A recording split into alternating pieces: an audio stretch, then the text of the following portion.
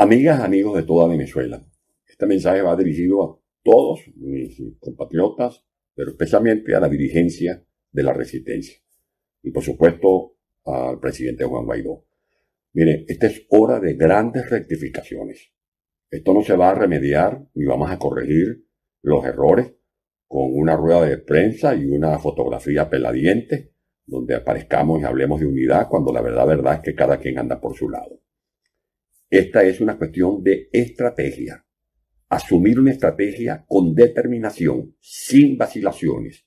Asumir el don de mando, asumir el liderazgo, conducir a la gente por los derroteros que nunca se han debido abandonar, porque sí es posible salir de esta tiranía, pero si nosotros tomamos de nuevo el ritmo.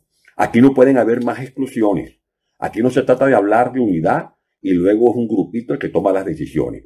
Sé que alguna gente dirá, bueno, no es momento de decir estas cosas. No, no, sí es momento. Sí es momento porque las oportunidades las pintan calvas y hay que tener sentido de la oportunidad. Ya basta de hablar del pueblo de la boca para afuera. Necesitamos un liderazgo auténtico. Liderazgo auténtico es el que tiene coherencia con valores, con ética, con capacidad para asumir riesgo. Liderazgo auténtico es el que es capaz de poner por encima de sus proyectos personales el gran proyecto nacional. Si la gente no confía en su dirigente, no vamos a lograr de nuevo las grandes movilizaciones que son indispensables para sacar de cuajo esta narcotiranía. Presidente Guaidó, el problema es que a veces usted escucha pero no oye. Y no es lo mismo escuchar sin oír. Déjese ayudar.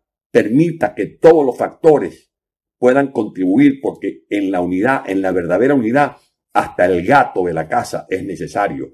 Todos somos útiles, todos, absolutamente todos somos útiles, si de verdad queremos salir de esta narcotiranía.